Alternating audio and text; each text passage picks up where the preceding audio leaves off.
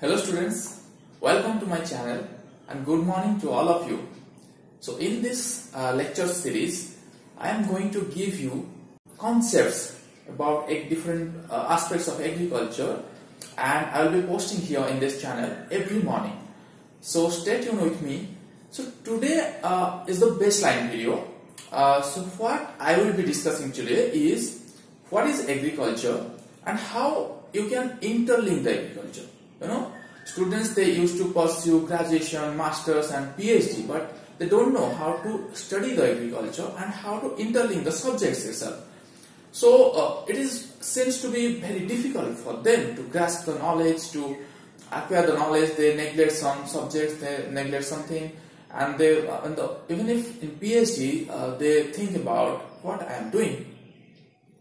Okay so what you have to know you have to know the process the interlinking path uh, among the subjects and how to study it, how to develop, how to build that concepts of agriculture. What is agriculture? You have to know a lot of things, but if you interlink them, if you know the path, how to study the agriculture, uh, what is the importance of agriculture uh, and how to study, how to apply this in field.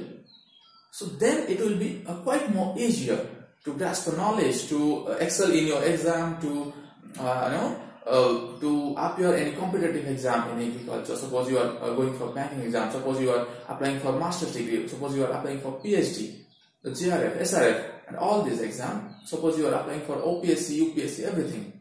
So if you got the concept, if you get the knowledge, then it will be much more better for you. Okay. So let's begin. So I am not uh, I will not cover the topics like this derived from this word, this, this these are mock-up things. This you can find in any book. I will be covering here in this in this lecture that how you should proceed in agriculture, how you should interlink the things in agriculture. So without wasting much time, let's begin the topic.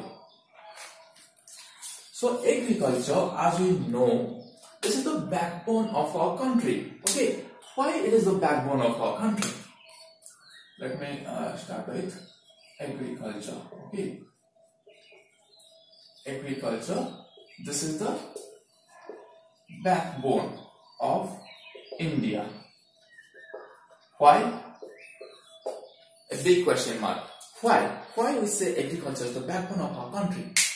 So, what is the uh, GDP of our nation? GDP gross domestic product our nation of our suppose uh, in uh, layman language that is our wealth in our nation generated uh, in every year. So agriculture contributes to around 15 to 16 percent to that wealth. Okay. The leading sectors are like service sector uh, followed by uh, you know industry sector then agriculture sector. But even if it is in third position even if, if it contributes 15 to 16 percent but it is stable and we need it. Why? Because in day-to-day life, whatever we are like we, we are wearing cloth, that is on agriculture. We are drinking tea, that is agriculture. We are eating rice, uh, you know, sugar, uh, everything, whatever we eat, that is agriculture. And uh, we cannot sustain on uh, industry and service sector because uh, recently I am giving the example uh, during COVID pandemic, everyone like got fired from job, uh, every industry was stopped, but not agriculture. It sustains uh, sustained our economy, and then uh, it uh, whatever workforce working in our country, man force. Okay, so a major portion of that, like 55% or 56% of that workforce work in agri uh, agriculture. Okay, so that is how you can imagine that why agriculture is important so how to uh, basic? What is the basic process? What are the basic steps we must know in agriculture? Okay, as as an agriculture graduate, uh, if you are interested in agriculture, so what are the basic processes? Okay, we know sun is our source of energy. Infinite source of energy is sun. Okay, it radiates some electromagnetic wave. Electromagnetic wave. Okay, so this electromagnetic wave what is radiated from sun what is coming from outer atmosphere okay that con con consists of different wavelength bands okay. So what is our you know important uh, for our uh, agriculture our earth is that visible okay. Uv means that is ultraviolet infrared okay. That is of higher wavelength uv that is of lower wavelength that is inside in between that is photosynthetically active radiation. This is a part of visible radiation okay? That visible radiation is important for earth okay? Then what is photosynthetically active radiation? The part of visible radiation that is used by crop to produce crop to produce an yield okay? So how they produce okay? So plants are the basically they are the producer why we uh, say plants producer because they produce crops. How they produce crops? How they produce different things? Whatever we consume whatever we that we get from plant whether we consume meat. Then from where meat came from? They also consume plant. Okay. So uh, producer. So how they produce crop? By the process that is called photosynthesis okay. So in photosynthesis also also plants have different processes like photosynthesis transpiration uh, you know respiration uh, there are different bio, biochemical cycles inside plants. So what is this photosynthesis? Suppose this is plant. Okay let me let these things. Okay. So just uh, get the idea how agriculture works. Okay suppose this is a plant. I am taking a big plant okay. This is soil okay. So what are the resource plant needs to do that photosynthesis okay. So a basic equation is co2 i'm writing uh, without that managing that empirical parts water then it uh, take that energy and C6H12O6 okay. This is what we call glucose molecule. Glucose molecule and this is a carbohydrate okay? This is carbohydrate what gives us energy okay? So plant needs carbon dioxide plant needs water plants need energy. What is that energy? That is solar energy. That is photosynthetically active radiation that that is needed by plant what is that photosynthetically active radiation that wavelength that is belong uh, in between 400 to 700 nanometer.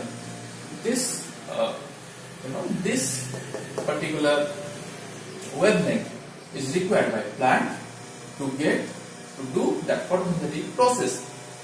What it uh, needs carbon dioxide and water to form glucose molecule. Okay. So uh, from this, you know, wavelength band okay there are several color gradient okay. So what we basically call them VIBGYOR you can remember this VIBGYOR what is that VIBGYOR violet then indigo then blue then green then yellow orange then red so most you know most important radiation, most important band from this is blue and red. Here the photosynthesis, photosynthesis is higher. Okay, in blue, in red and blue. And where the uh, where there is less photosynthesis, that is green. Because plants always that reflect that green radiation. So that whenever we see any plant, that seems to be green. Why it seems to be green? because plants reflect that green band and that fall in our eyes and uh, it seems to be green. Okay. So that is the weakest band in terms of photosynthesis. Okay. So uh, suppose okay.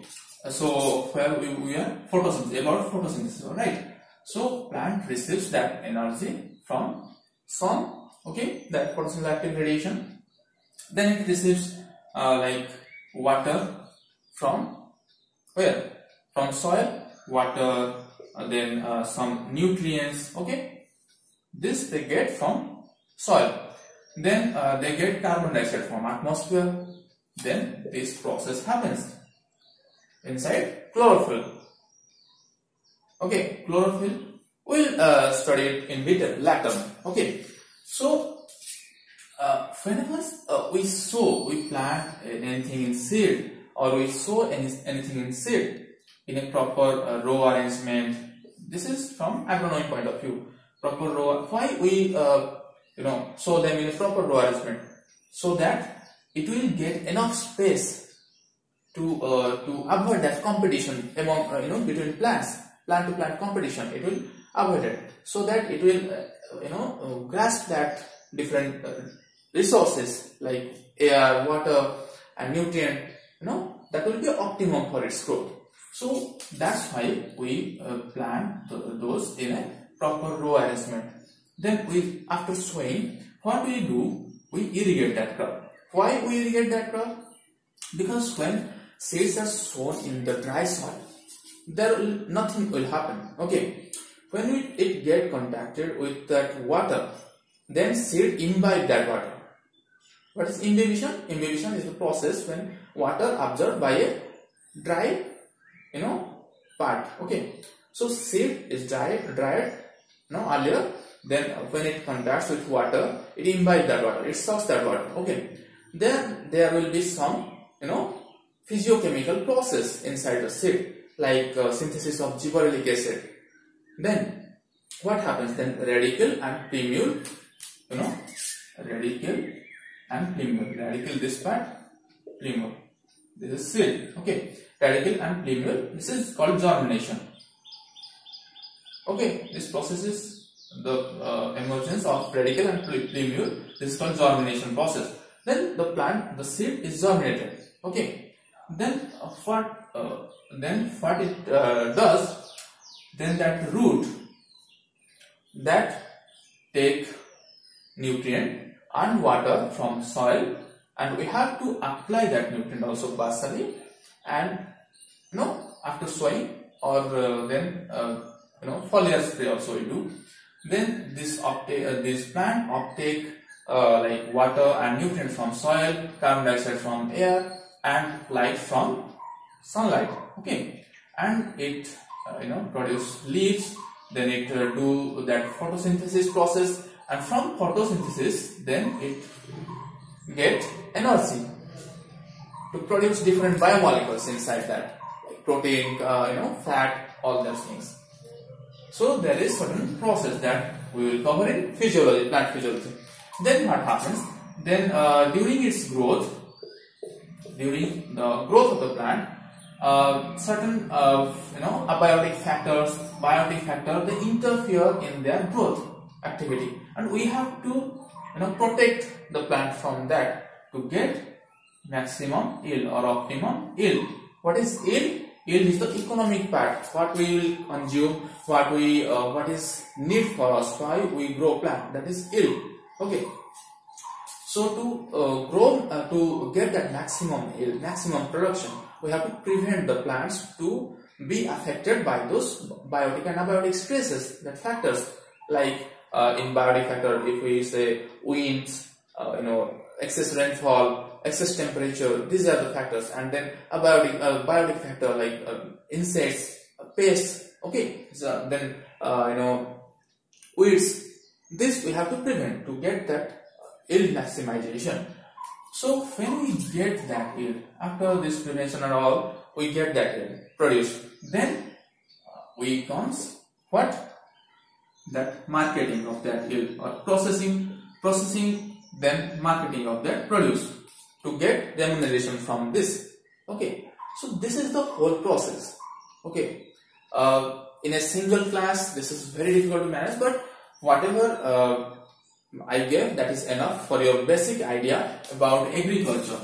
So from next video onwards I will be uh, covering some of the basic concepts of agriculture uh, through this lecture everyday morning lecture okay so stay tuned uh, till then and uh, if you have any doubts on any uh, anything in agriculture then you can ask in the comment section and if you like the video then do not forget to subscribe Okay, till then, see you tomorrow. Bye bye.